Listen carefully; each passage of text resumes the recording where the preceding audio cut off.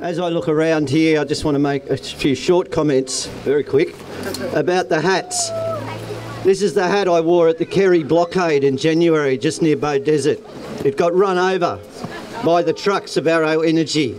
It's a bit battered and bruised, but by geez, it's stronger. And it's going everywhere with me in the coal seam gas campaign. I want to start by acknowledging the traditional owners of this land on which we gather today. I honour the elders, past and present, who've guided their communities in nurturing and caring for their country. I also pay my respects to any Aboriginal people here today. I particularly want to thank Uncle Reg, Uncle Reg King, for the very warm welcome to country and for his strong stand against coal seam gas mining.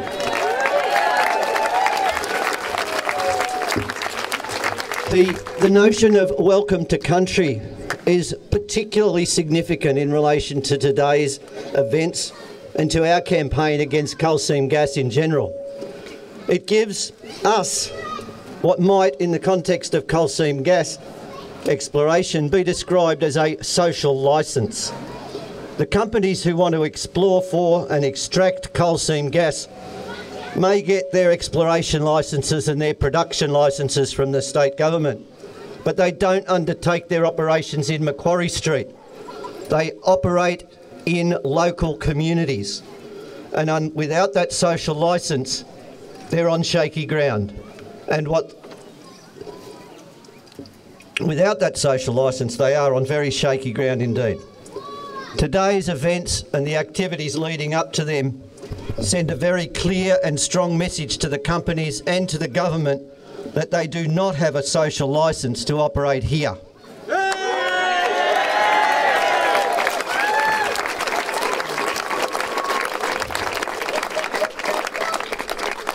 Dictionary.com defines celebration as a commemoration of occasion or achievement.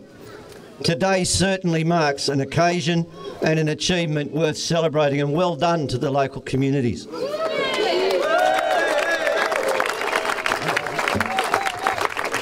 As a member of both the Lock the Gate Alliance Management Committee and the campaign strategy team, I'm very pleased to be here today to join with the communities of the Tuntable Creek, Terania and Keerrong Valleys and the Channon to celebrate the implementation of the CSG Free Community Strategy and the presentation of the road declarations to Lismore Mayor Jenny Dowell. As a resident of the Northern Rivers, I'm also pleased to see it won't stop here, but that this event also marks the launch of the initiative as a regional campaign.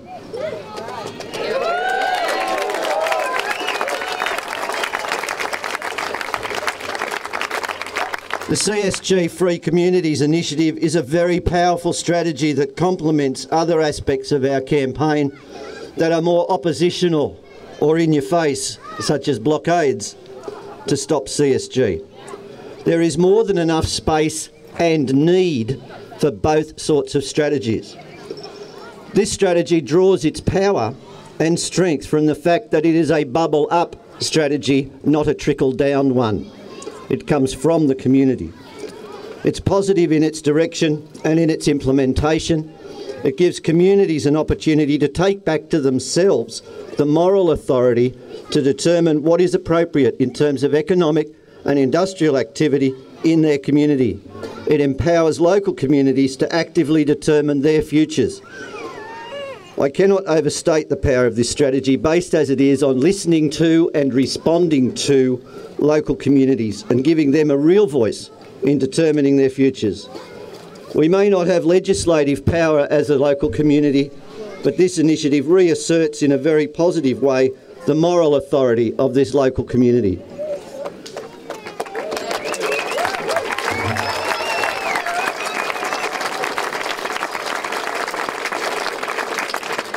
Governments ignore this message at their peril.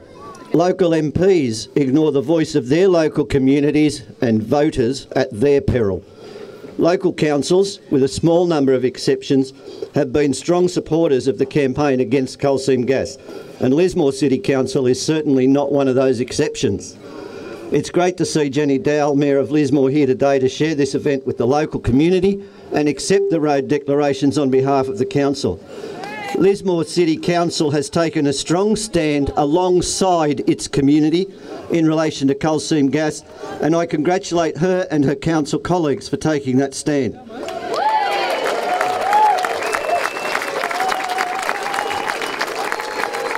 Lismore City Council, and with Simon's announcement that it's decided, not proposed, it's putting the question to local voters at the elections in September about whether they want coal seam gas in the Lismore Council area. There are no points to be awarded for guessing which way I would suggest you vote. well done and thank you, Jenny. Please pass on my thanks to your fellow councillors. State State Member for Lismore, Thomas George, should take note of today's events.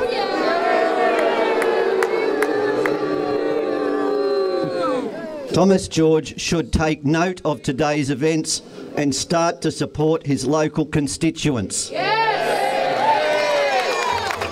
Janelle Saffin, Federal Member for Page, should take heart from today and draw strength in her continued stand against coal seam gas, knowing that she has the support of the local communities she represents.